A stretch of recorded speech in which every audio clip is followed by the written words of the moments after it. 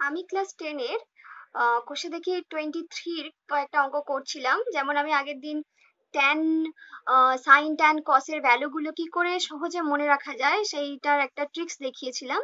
আজকে আমি ওই ভ্যালুগুলো বসিয়ে কি করে অঙ্ক করতে হয় একটা ক্লাস টেনের একটা অঙ্ক করে দেখিয়েছি। দেখো তোমরা বুঝতে পারো কিনা। দেখো, এটা আমরা কি করে করব? আমাদের প্রথমে 1 by 1 by 3 tan 30 means tan 30 means root 3 by 2 root 3 by 2 1 by 2 into tan uh, sin 45 means 1 by root 2 plus tan 60 degree means 1 by uh, sorry root 3 আর cos 30 degree means root 3 by 2 এবার আমাদের যেটা করতে হবে এখানে দেখো এটা root three by six by one by two root two plus two root three by root three এই টুটা ওপরে যাবে এখানে যেটা করলাম থ্রি অ্যান্ড থ্রি মাল্টিপ্লাই করে সিক্স রুট থ্রি এখানে রুট থ্রি বসল বাই দিয়ে আমাদের 2 3 ইনটু 2 6 বসেছে।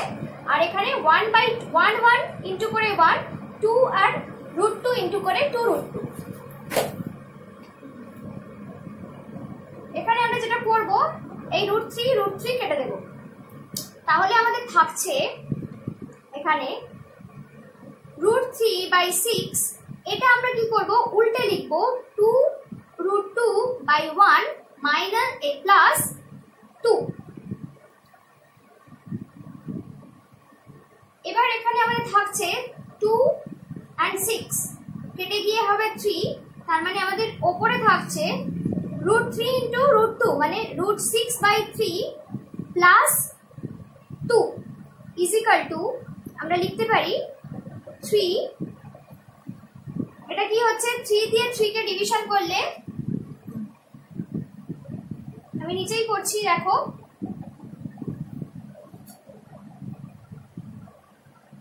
এটা হচ্ছে, এটার এলসিএম করলে 3 এবার হচ্ছে, এখানে হলো রুট 6 3 দিয়ে 3 কে ডিভিশন করলে one one into root six root root six তার সঙ্গে এটা কি হবে?